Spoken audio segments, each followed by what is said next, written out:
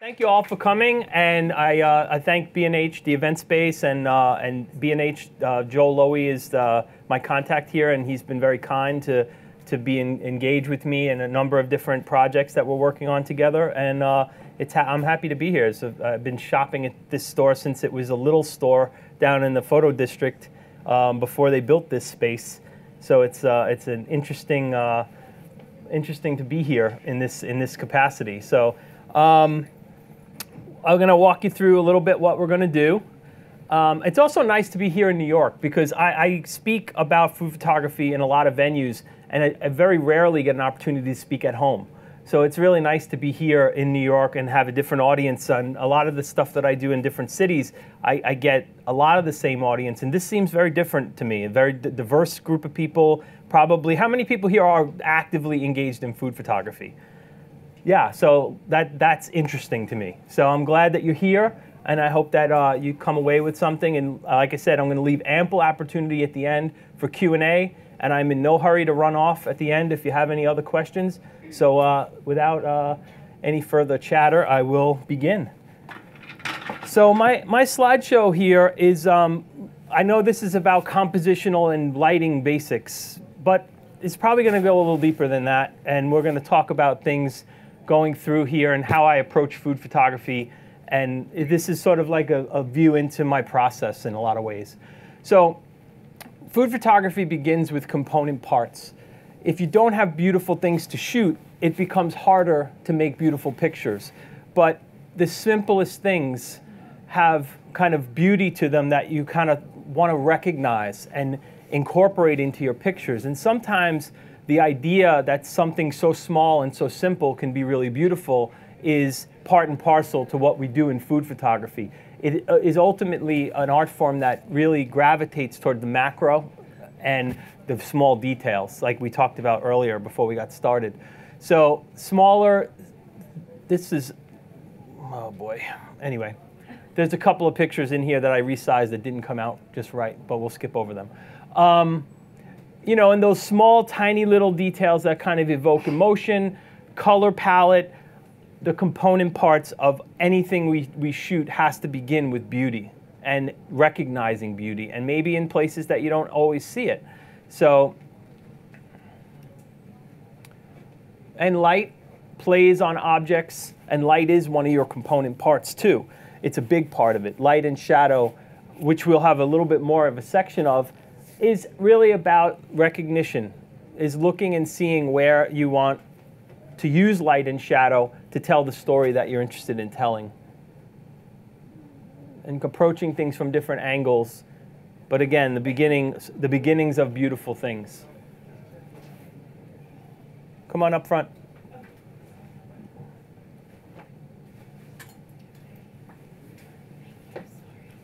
Okay.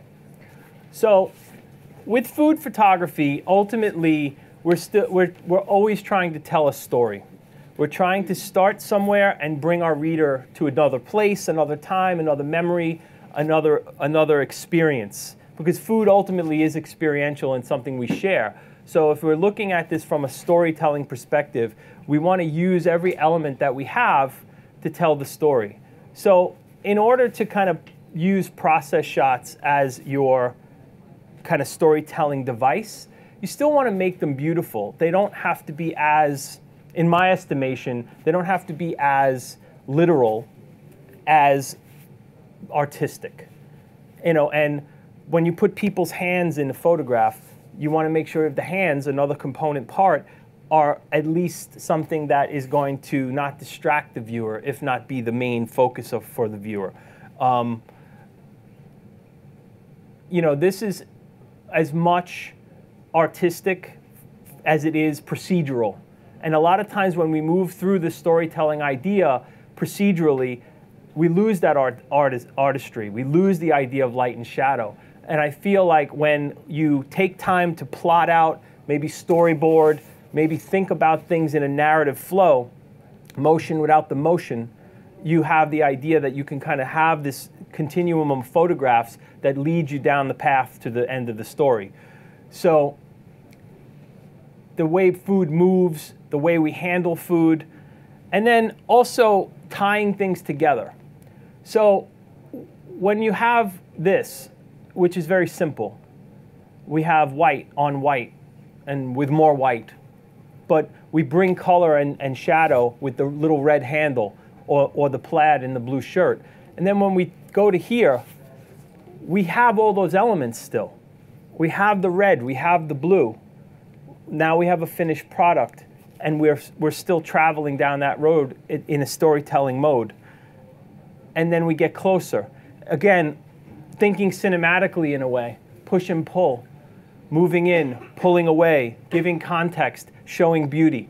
This is this, the idea of storytelling with, with images alone without having to write a word for the story, I think that this series of images gives you the idea as to where we begin and where we're going, and we added an element of romance to it, something that I bring to this because pizza is something that's cultural for me.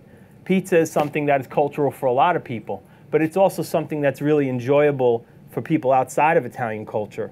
So you're sharing a little bit of myself, the romance of it for me, and then bringing it to a beautiful picture that is ultimately something that you want to eat. Because I don't know that we want to eat raw dough, but there was still something compelling about it. And that's the idea of storytelling with food images. Again, we're here. We're making beautiful pictures. The carton isn't necessarily something that you want to show all the time, but the idea is it's still on a path. We're still, we're still walking down it showing these small details, again, the push and pull, the cinematic feel of, of, of a series of images, and then we kind of get to a final. And if you see a pattern emerging here with my style, we're going to get to that a little bit more. But I have a tendency to be on the darker side and use shadow a little bit more than maybe some other photographers in our space do. But the idea is that that's the style that I've been influenced by. And it's something that I worked on and, and created over time that I'm comfortable in. The darker palette allows for me the colors of food to jump, to pop off the screen. And when you have things that are a single image, something that is evocative, you can tell a story. This, is, this was part of a story about um, black and white cookies. Again, a cultural reference for people who have experiences with this type of food who want to romanticize it in a way. And that drip is about selling emotion. See that? How you like that for timing? I know my slideshow. when we are being photographers in the food space, we are sell- salesmen, saleswomen salespeople. We are selling emotion to our customers, clientele, to the general public. Food is hugely emotional, and if you tap the right notes, if you strike the right chords, everybody can feel it. There's something about the way food moves, the way that a drip or a drop or a smoke plume or something that makes it visceral, that makes it three dimensional the challenge in food photography is to make something that is innately three dimensional appear that way on a two dimensional surface. Food is three dimensional art. And where people ask me where are the influences, the influences are in three dimensional art because, quite honestly, that has no meaning if it's flat. It has to feel real, it has to feel almost like you could reach through the screen. So compositionally, I yes, I am putting it in the middle of my frame, and I have this kind of symmetrical balance. But ultimately, what I want you to understand and conceptualize first, before we start talking about X's and O's, is the thought, the, the feeling that goes into putting food on a plate in front of a camera. Why do I do it? Why do I? What do I want to make sure at the other end is the result? And mmm, I want to eat that. That's the result. That's the emotion. So when you when you feel it, when you see it, and you know what's happening next, right? You're building that narrative in your mind. You're building the narrative that says, "I want to see that drip, and the next thing I want to do is put the spoon in it, and I want to put it in, and I want, and I know exactly what that's going to taste like. I want to feel it. That's the emotion, the sizzle, the smoke, the, the thing that makes food real for us, the things that we experience. You walk into a house in the, in the, uh, in the cold winter and you smell what's coming out of the kitchen. It draws you in. It makes you feel, it makes you think and remember. That's what food photography has to be in order for it to be something that has kind of a fulfillment to it, just like eating. Is there's, there's, there's a, a real fulfillment to experiencing it. And then, you know, hopefully if it's something that you want, you go and get it. What does the drip make you think about? What's next? Licking it, right? It's everybody's experience with an ice cream cone. It's universal. And, and the, it's being able to capture that moment that, and why it's important. Why is it important is because it's something we can all relate to. If you can relate to it, if you can experience it in your real world, this brings you there. It brings you into that mindset, into that space, into that great time when you were a child, whatever, or with your child. There's always something, you know, contextually important. That's when you can sell that emotion, you know? Now, there's not a whole lot that's sexy about a buckwheat pancake, right? But there's something about the sizzle and the smoke that makes me think about something, puts me in a, in a, in a Sunday, on a Sunday morning somewhere, you know? So that's part of that selling of emotion. Same thing, you know, it's, it's all about finding that one tiny little detail sometimes that makes you think why do they do this in every Twix commercial? Why? They do it because it resonates. It makes people think and feel because something like the viscosity of caramel is consistent. It's real that people can relate to because when you're making it, eating it, working with it, it always has this consistency. It's reliable. And that's why a shot like that works for people because it's a really reliable experience. And then, of course, there's always the end. right? And that's something, too, that people relate to. And that these pictures that you see very often in food photography about that, the, the, the, the bitter end, you know, there's something bittersweet about getting to the end of something really delicious that re also resonates with people emotionally. You know, the movement aspect this doesn't have to be moving to, to show you that it has a dynamic feel to it. Then the dynamic aspect of food photography and keeping things moving and flowing is really, I think, important in the narrative because, again, it's not flat, it's not static. It is one, it is two-dimensional, and it is not moving. But this is anything but static. Okay light and color. This is where it all happens. That's it.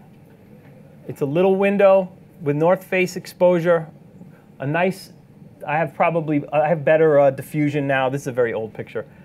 Uh, a couple of sawhorses, a lot of different surfaces that I use as tabletops, and a camera stand, which is not mandatory.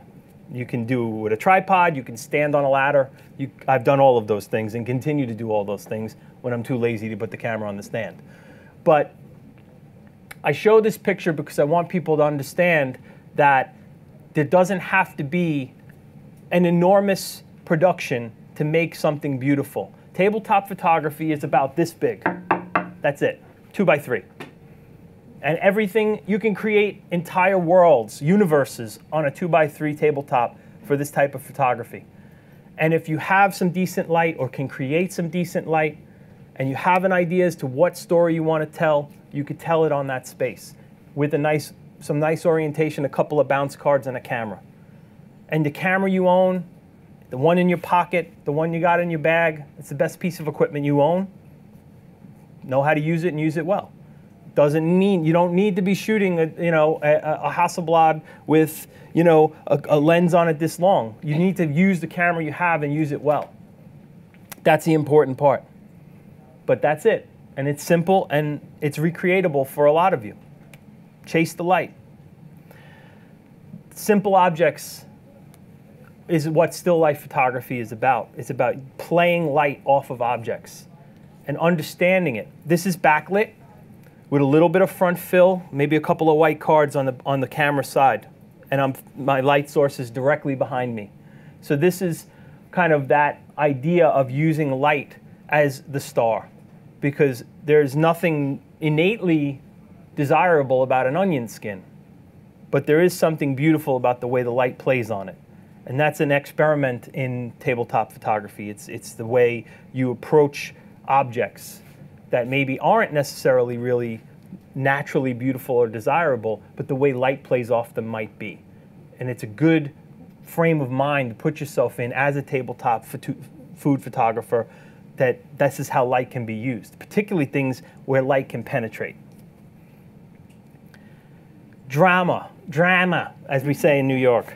We have a lot of drama here, right? And this is the style that I've kind of worked on over the years, and it's influenced by painting, and it's influenced by architecture, and it's influenced by a lot of different art forms. But the way I like this is the kind of style that I've developed, and it's very simple. It's one directional.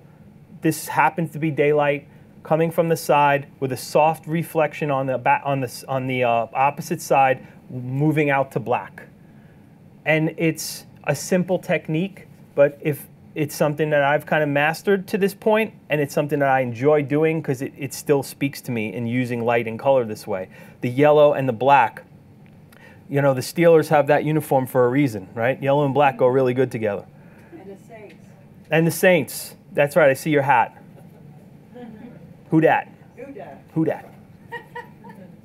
All right, but the idea of using these kind of contrasting colors, high contrast is something that appeals to me. It's not for everybody, but that's about style. It's about finding the style and the lighting techniques that you like. I'm happy to share them if they're the ones that you want to try to uh, approach. But I also encourage you to try your own techniques. Find the color palette that you enjoy. Again, that light, right? Using that backlight, the way liquids reflect light, and understanding how to play that in the camera and seeing it now, when you're using a steady light source, like daylight or an HMI light or, or something to that, or an LED that's not flashing, you have the ability to take your camera and look through it and then move your body or move your tripod and see the way the light is playing off of different objects, playing off of liquid, playing off of sh the shimmer and sheen. And when you find what you want, this is the, this is the benefit of shooting with steady light then you can grab a shot like this because now you know that when you're in this position, it's not only penetrating the liquid and making it glow, but you're also getting this incredible shine off the top. And that's again trial and error, figuring out in your space with your equipment where that light is going to come in to your room, or if you're if you're manufacturing that light, you have all that control.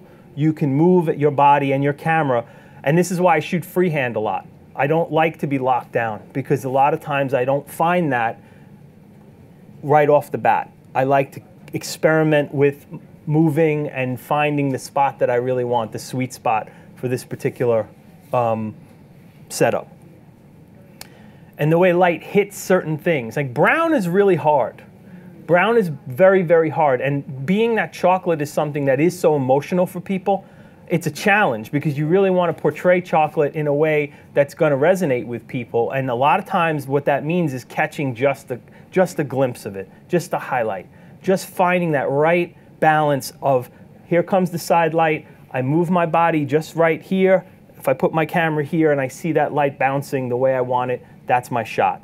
And that's one of the tricks with using these kind of contrasting light and dark scenarios uh, to get a picture like that on a monochromatic surface, especially all the darks, dark gold, dark, dark brown, light brown, black.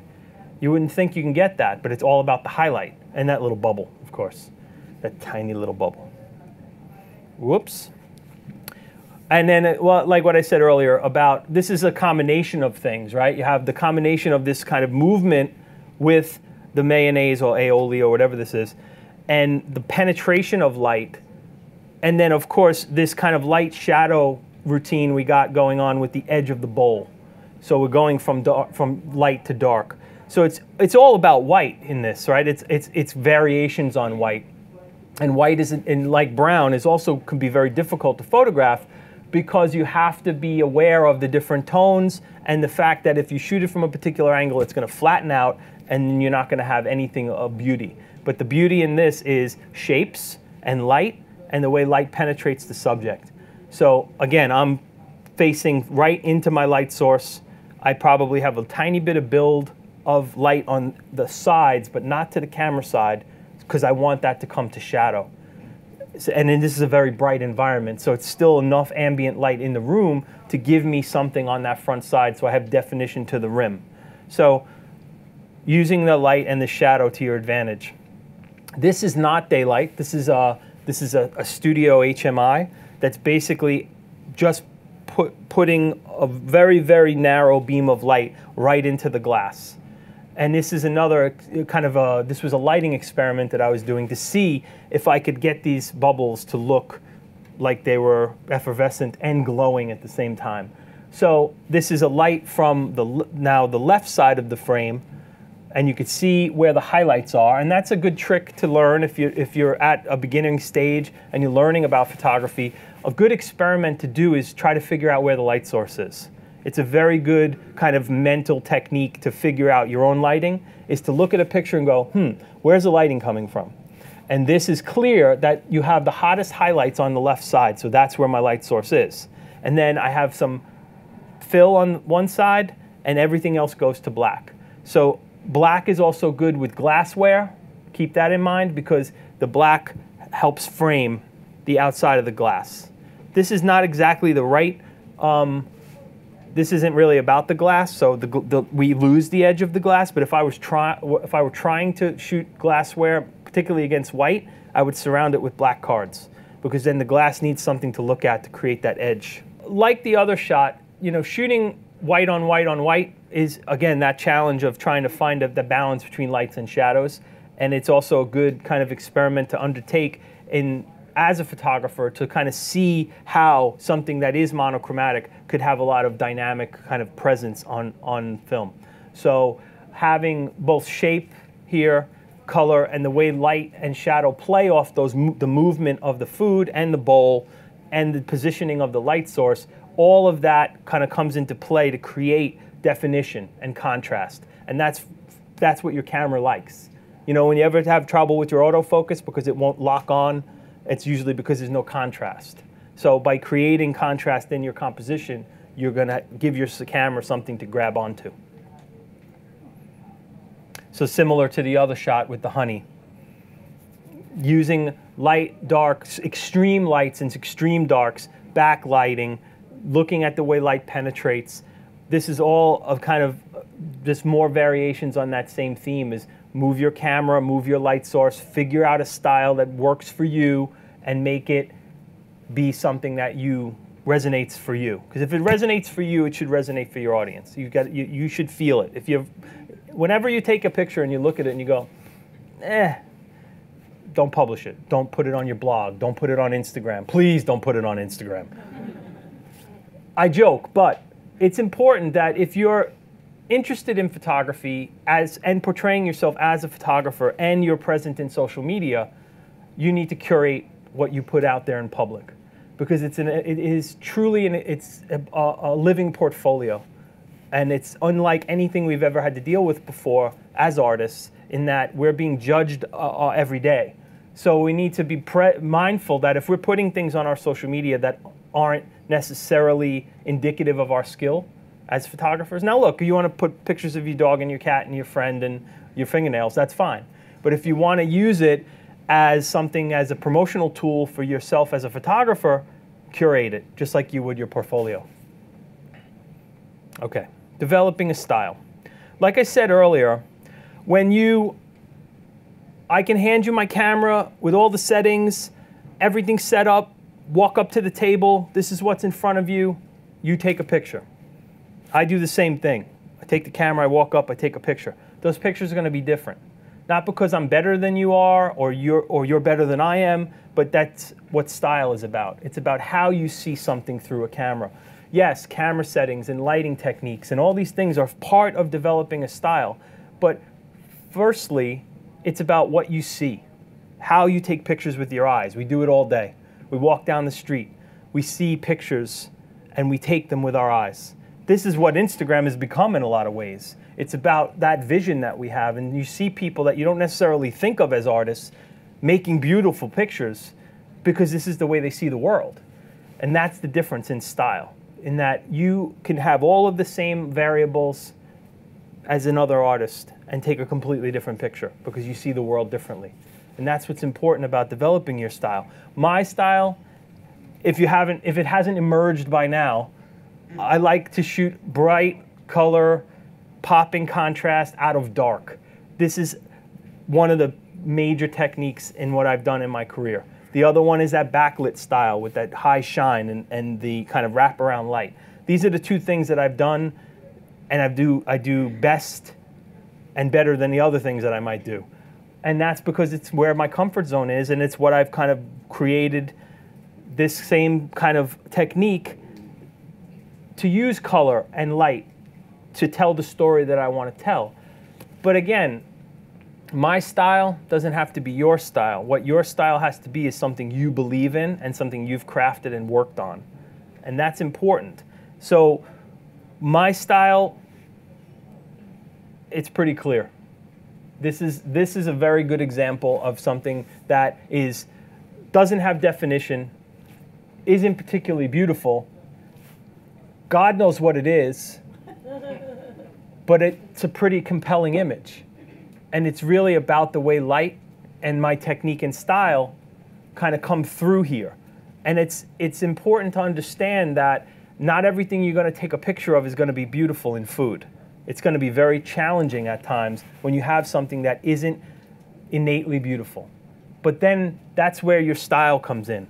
When you've crafted a style where people can recognize your photographs without the byline, that's when you know you've gotten to that point where you can make something compelling and interesting, maybe not necessarily beautiful, but definitely indicative of who you are as an artist every time, consistently, day in and day out in any circumstance. That's what makes you a professional. If you can be relied upon to be consistent as a photographer, you will have clients. You will have people who will enjoy your work, hire you to do that work, buy your work, because you are consistent in a style that is appealing to a particular portion of the marketplace. And it's important that you stay consistent to that. Because when I look at a, I get the offer to come and review people's portfolios all the time. Because I do this type of work and because I'm, I'm accessible to people, they say, Can you look at my work? And I'm happy to do it because I think people need to know what works and what doesn't work and a lot of the times, the biggest problem is it's all over the map. And when and I've learned this from friends in more advertising than editorial. When they've come to me and said and helped me craft my website many years ago, it was like, do something well and show that you can do that thing. Because if you're shooting sports and you're shooting food and you're shooting people and you're shooting weddings and you're shooting your friends and you're shooting this and that, nobody knows what you're about anymore. Photography is about specialization. You have to be married to the idea that I'm shooting this.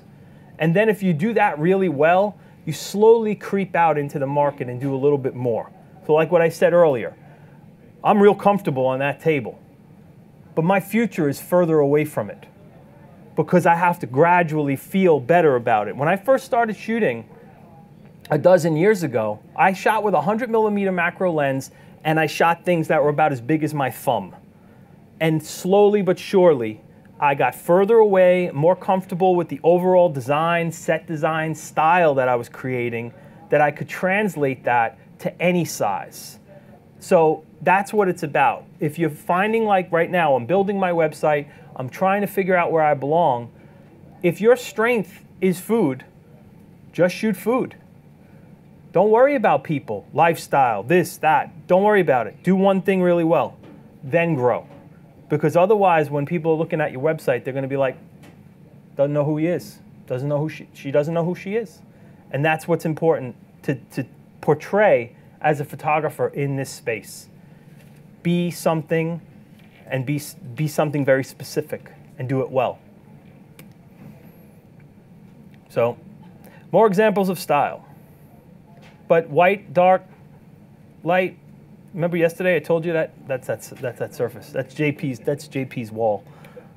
So, you know, and that style obviously has a little bit of a that that has variations in it, right? Is that sometimes I shoot with a little bit more depth of field, sometimes I shoot with a little less depth of field, but it still has the same sense that this is my work. It's, it, there are little variations. It's not dramatic variations, but there's not a whole lot that those two particular lighting techniques that I've kind of become comfortable in, I can't do. I, I do them and I do them pretty often. That doesn't mean I can't do other things, but yes, these are the things I'm comfortable in. So the, the chocolate, the little light, the little tiny fleck of, of, uh, of highlight, that I don't need to do much more than that in a, in a scenario like this because the, the, the subject matter tells the story for me. I put it in my style. You know, the, the idea of movement, dynamic, dynamic presence of food, highlighting, high contrast, put them all together in the little package, and this is still very, very indicative of what I do.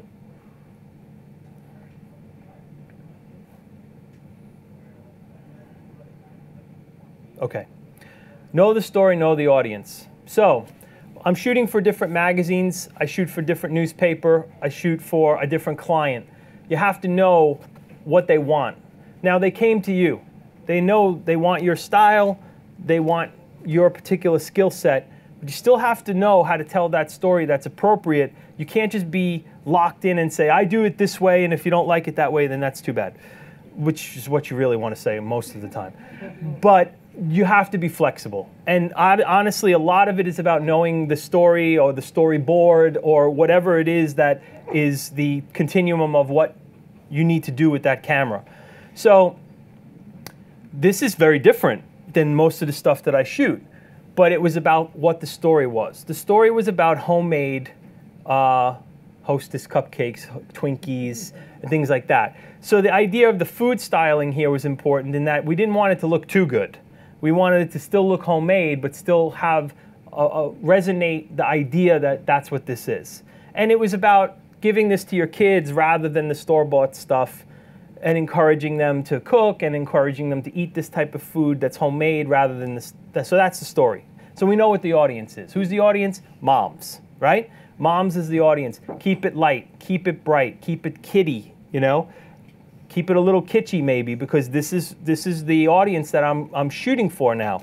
So the styling and the lighting and all of it was all appropriate for the particular story we were trying to tell. And then of course adding people into that equation and the whole story again is told and this has nothing to do with my dark style or my my you know but it is about having the recognition to know when you have to shift your, your kind of equilibrium a little bit to tell the story that needs to be told. Know your audience. So this was a uh, this I include this because this is his sister and uh, my godchildren and this was a shot that I just grabbed one day and I talk about this picture because what happens next? That's right. And we all know it. Right? And that's the point, right? Is that if my audience is parents, they know what's happening next. And somebody wasn't paying attention. So that's again, you know, knowing your audience. You grab a shot like this, you know exactly who that's going to resonate with. We are in a particularly dynamic and complicated art form because we could take the greatest image known to man.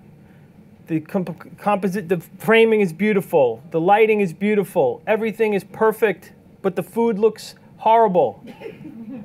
now what?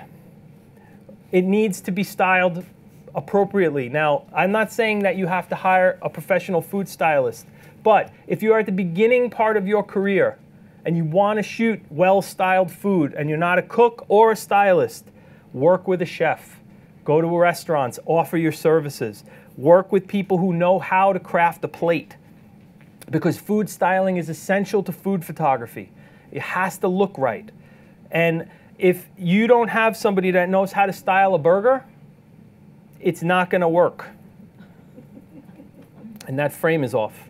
Shouldn't be cropped. The, the picture is not cropped at the bottom. This is the limitations of computers. Um, yeah, question. How much of it is actually food after you do the? 100%. Everything you've seen on this screen ended up in somebody's stomach. Yours. Mm, sometimes. but honestly, we, we, because of the volume of the work that we do in, in my studio, um, everyone in the building eats well. we, have, we have a little uh, neighbor next door. She's this probably 65 year old Japanese woman, lives alone with her pit bull. and every day I leave the door ajar and the pit bull comes in and he sits down in front of my prep table and he likes the cheese rinds. He and we give him the cheese rinds and then we send a big bag of, and of course, I think she knows that when the dog comes in, the door is now open and then she goes out with a bag full of food every day. So we, we, feed, the, we feed the neighbors. But, you know, I have one particular stylist who worked on a TV show who is amazing at building burgers. She does it really well. And you'd be shocked because it's so iconic in our culture. You know, certain food items, we have an innate expectation of what they're supposed to look like. And if they don't come close, they don't resonate. They just don't. You, you, it just doesn't look right. And it's not the experience of going to the burger shop and biting the burger. It's not. It's born in advertising. It's born in where we've seen these images our whole lives. And if you don't get close to that, it just doesn't resonate emotionally, psychologically with the audience. And that's where food styling really comes into play. You know, something simple, monochromatic, but make it look homemade. I didn't want this to look like super slick. This was all about homemade. And then the crackling on the top, that happened on its own in the oven, but it's also something about recognizing good, you know, the way food kind of has its ability to self-style sometimes, right? When you take something, you take something out of the oven, you're like, whoa, that's perfect, just the way it is. Don't touch it, you know. And you have to make sure that the the you're capturing those things, and it's about that recognition sometimes too. You get it, it comes out of the oven, it's perfect. But that's the same pie. Now, if that ham and, and egg and the other stuff isn't well proportioned on the inside of that, and there's a certain skill to doing that ahead of time. If it's not well proportioned, it's not going to look right. It's going to look off balance. It's going to look like something's missing. So, good food styling ultimately makes the picture. Now, this one I'm particularly proud of because I made it. I have one passion left when it comes to uh, working with food, and it's, ba- it's baking. Uh, I do a lot of the baking still, when, when, even with when I work with stylists, because it's something that I learned when I was young and I really enjoyed. This this tart took three days to make. It's a like a French technique of rolling out the dough, chilling, rolling, chilling, rolling, and then finally building and making. Um, so it was something that uh, I took a lot of great pains, including hand selecting just about every one of those raspberries after soaking them in ice water for 20 or 30 minutes. So there's a lot that goes into this type of stuff. But look, baked goods are very forgiving because we have an emotional connection to them. They make us happy, they make us feel good, we like them, they tap the pleasure center. So it's an easy, it's an easy fix when it comes to uh, food photography. It's one of the easiest things to photograph because you know your audience on the other end is, is going to be really enthusiastic about it.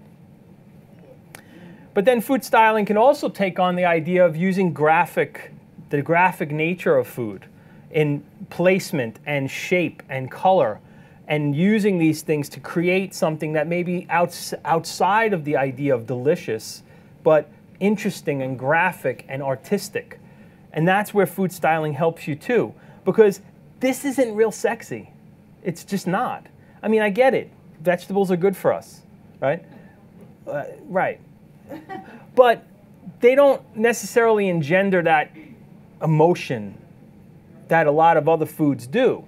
So when you have that kind of conundrum in front of you, you figure out a way sometimes to make something else happen. And that's where your artistic kind of um, instincts kick in, especially for stuff like this, these kind of overhead graphics that are also part of the style that I've kind of built over the years. Is I like this look. I like that overhead graphic look because let's face it, not everything's pretty. So you got to make it interesting. If you can't make it pretty, make it interesting. Now that's pretty and interesting. But you know, the small details of this food of the food styling, the placement, the, the size, all of that matters in food styling when it comes to food photography. These are raspberries and strawberries. But I carefully selected them by size to make sure that they didn't look incongruous with one another, that they blended together in a natural way. And that's important to understand is that sometimes you have to think three steps ahead to get to the final product. And choosing your ingredients is the first step in food styling and making sure they look fresh and they and they they don't look like you know they've been through the mill a few times, especially when you're going to shoot close up. And you know, sometimes your food, like I said, it comes out of the oven, it doesn't need anything. Just build a set around it and it's beautiful. But again, balance, symmetry, all of that happens in food styling because if all of the pecans are off to one side or you're not equally distributed with the, um, with the coconut, it's going to look odd. And it may not figure it out at first as a viewer, but you'll feel it. You'll feel it before you notice it. And you'll look at it and you're like, eh, that's not right. Because we're really attuned to things like symmetry and having a balance in the image. So it's important to understand that that happens with the food stylist or yourself if you're styling your own food. Okay. Camera settings is one of those questions I get a lot. I'll tell you right off the bat. 125th of a second, 4.0 at 100 ISO, 90% of the time. If I can get to those settings, I'm happy. I, uh, and then when I'm shooting from over, over the top, I'm shooting at 8 instead of 4 because I want, I want more depth of field. And that's it. There's no, there's no science in my, you know, there's no secret. But, you know, understanding and recognizing the difference between this and that, the difference between 8 and 4 from over the top is important because it's going to tell the story differently. It's going to feel different to the viewer. It's going to guide your viewer in a different way. And having consistency in your camera settings is something that is essential to your style. In that, if you, and developing, we talked earlier uh, about trends in food photography, and this was the trend five years ago, and now this is the trend. We have more depth of field in food photography now. We didn't have it five years ago. Everybody wanted to shoot super shallow with this kind of ethereal feel, and it was nice, but it, like everything else, it you know shifts with the times. And then you know you have something like this, which is a complete departure from the others, right? Because now this is strobe light, and it's much much sharper and cleaner, and it gives a different feeling just based on camera settings and lighting technique. So you know, lots of depth of field, super sharp because there's a lot more light in, in, the, in the subject you know, all of that is about kind of getting familiar and comfortable with different camera settings to get different effects. So something that feels a little more romantic, a little softer, and then something that's much harder and much sharper, gives a different feel, a different emotion. It's got a different punch to it. And like that too. That's from the same shoot. But lots of detail, super sharp. Okay, propping. Now, I talked earlier about having a disease, about shot, you know, about being a prop addict, and it's true. But it's also because we're kind of creating essentially these dioramas as food photographers. Three particular different artists can be on any given set a prop stylist, a food stylist, and a photographer.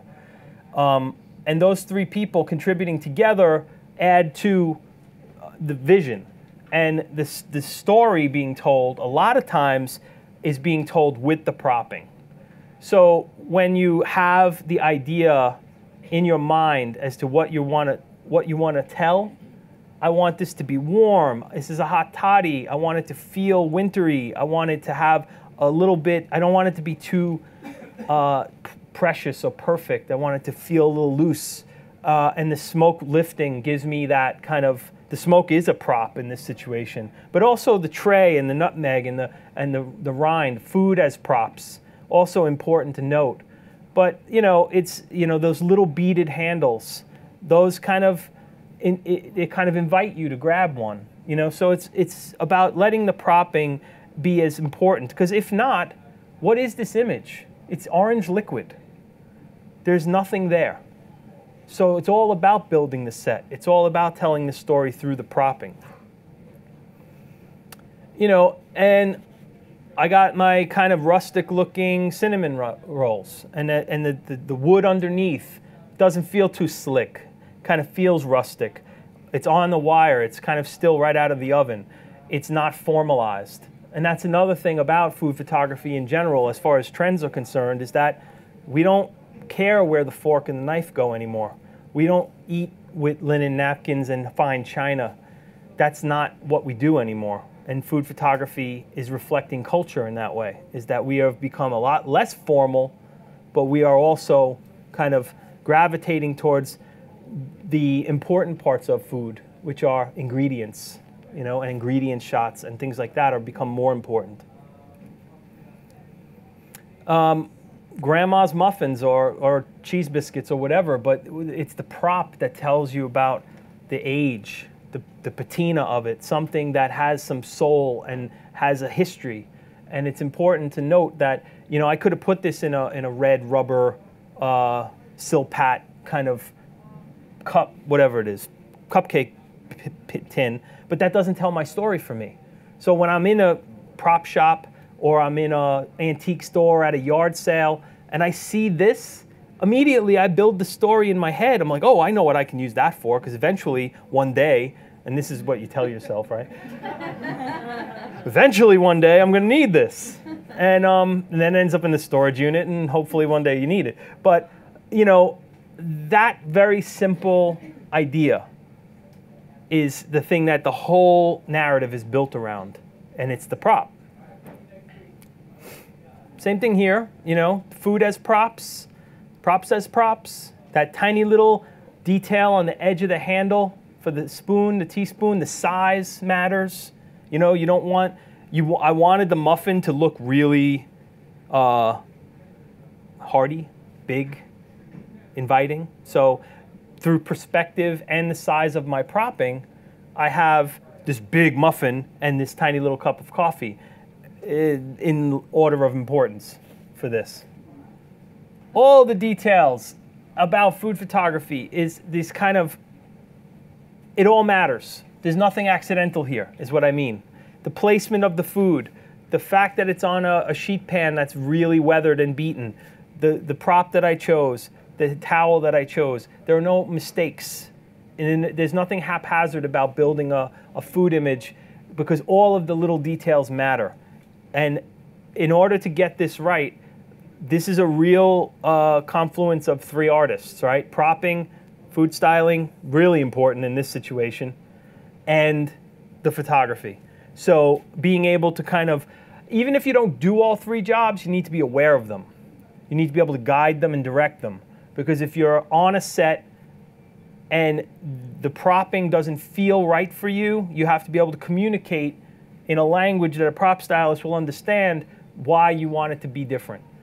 What feel am I looking for? What emotion am I looking to tap into? What uh, narrative am I trying to tell? And if you kind of put your head in there, you're going to be able to um, at least conceptualize the jobs that are part of this art form.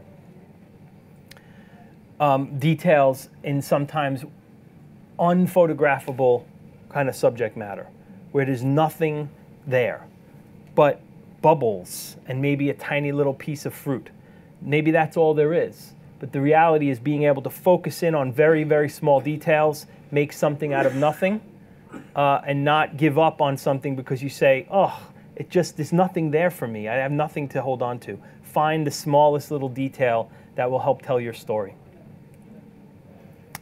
And, you know, food styling here, but also the detail of the styling. You know, how it feels well styled without feeling like it was made in a bakery, right? And that was the that was the idea in this. And there's more to this story too. This is about this particular um, photograph is for a book about cooking vegan food for your kids. So my goal was to make imagery that tapped into that audience again, right? We know our audience. My audience is about saying, I want to put this on my kids, but I don't want them to feel different than other kids, right? I want them to live the lifestyle I want them to live, but I still want them to have the same experiences I had. So this is silken tofu, not chocolate frosting. And I wanted it to feel like you can't tell the difference.